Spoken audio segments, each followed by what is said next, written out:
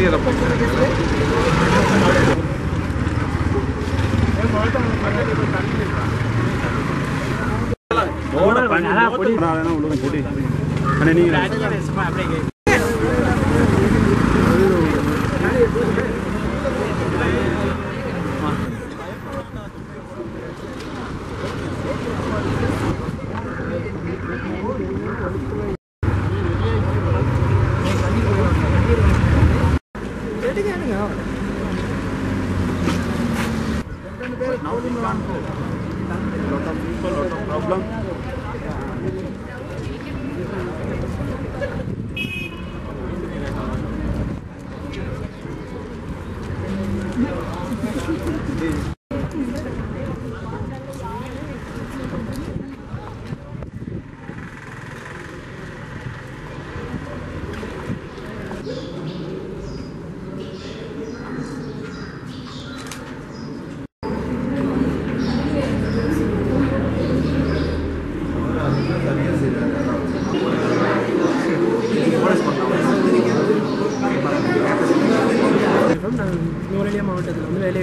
வேலையற்ற ஒரு சாதாரண ஒரு ஆர்ப்பாட்டமாக இதை ஆரம்பித்தோம். இதுக்கான காரணம் என்னன்னு சொன்னால் கடந்த ரெண்டு வருட காலமாக நாங்கள் என்ன செய்யணும்னா வேலை பல்கலைக்கழகத்திலிருந்து பட்டம் பெற்று விடுகையாகி ரெண்டு வருடமாயும் வேலை எந்த வேலை வாய்ப்புகளும் பெற்று தரப்பட முடியாத நிலையில் தற்போது ஒரு எல்லா தரப்பினர்கிட்டையும் ஒரு கோரிக்கையை முன்வைச்சு அதிலிருந்து எந்த ஒரு முடிவும் பெ பெற்றுக்கொள்ள முடியாத சந்தர்ப்பத்தில் நாங்கள் என்ன செய்யறோம்னா இப்படி ஒரு ஆர்ப்பாட்டத்தை முன்னெடுத்தோம். முன்னெடுத்த வகையில் செயலாளர்களிடம் வந்து எங்களோட கோரிக்கையை முன்வைச்சு அவங்க சொன்னாங்க அதுக்கு தீர்வாக வந்து கடிதம் மூலமாக அறிவிக்கிறேன்னு சொல்லி சொல்லியிருக்காங்க. அதை விட ஏனைய தரப்புகள்கிட்ட வந்து நாங்கள் கோரிக்கை விடுக்கிறோம் என்னென்னு சொன்னால் எங்களுக்கான இந்த வேலைவாய்ப்பு தீர்வு திட்டத்தை வந்து முன்வைக்கா முன்வைக்காத விடத்து இதற்கு தொடர்ந்து ஆர்ப்பாட்டம் வந்து நாங்கள் கட்டாயம் மேற்கொள்வோம் என்பதையும் தெரிவித்துக் கொள்வதோடு ஏனைய பட்டதாரிகள் இதோடு க இதில் வந்து எங்களோட சேர்ந்து கொள்ளணும்னு சொல்லி கட்டாயம் நாங்கள் ஒரு அறிவித்தலை அதை விடுக்கிறோம். ஏன்னா சாதாரண ஒரு அதிகமான பேர் பட்டம் பெற்று இருந்தும் ரெண்டு மூன்று நான்கு பல்கலைக்கழகத்திலிருந்து இரண்டு வருட மாணவர்கள் பட்டம் பெற்று இருந்தும் அவர்கள் வந்து இதில் கலந்து கொள்ளாதவை வருத்தத்துக்குரிய விடயமாக இருக்கிற அதே சந்தர்ப்பத்தில்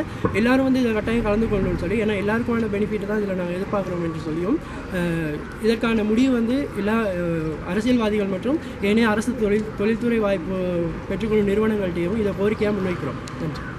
உங்களுக்கு அறிவிக்கிறோம் சரிதானே? ஓகே நன்றி.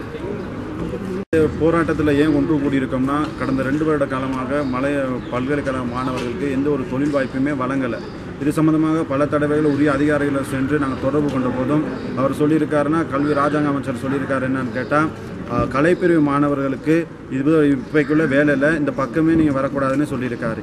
அந்த மாதிரினா கட்ட கிட்டத்தட்ட க- மலையத்திலிருந்து பல்கலைக்கழகத்துக்கு தெரிவு செய்கிறது ஒரு சித ஒரு சதவீதமான மாணவர்கள் மட்டும்தான். அப்படி இருந்து அவங்க பல்கலைக்கழகத்திலிருந்து வெளியிலேருந்து வந்தோட்டி அவங்களுக்கு வந்து ஒரு தொழில் வாய்ப்பு கிடைக்கிறனோட்டி இது ஏனைய மாணவர்களுக்கு வந்து ஒரு பாதிப்பு செலுத்தக்கூடியதாக இருக்கும். என்ன பல்கலைக்கழகம் போனால் வேலை இல்லைங்கிற பிரச்சனை எல்லா இடத்துலையும் போயிட்டுருக்கு அதே மாதிரி தான் இப்போ நுவரெலியில் இதுவரைக்கும் வரலாற்றில் இதுதான் முதல் தடவை பல்கலைக்கழக மாணவர்கள் ஒரு ஒரு உரிய அதிகாரிகள் கவனம் எடுக்காதனால வீதிக்கு இறங்கி போராட்டம் நடத்துனது. இதுதான் முதல் தடவையாக இருக்குது. இந்த போராட்டங்கள் வந்து இது கல்வி ரீதியில் இன்னும் ஒரு பெரிய பாதிப்பை ஏற்படுத்தக்கூடியதாக இருக்கும்.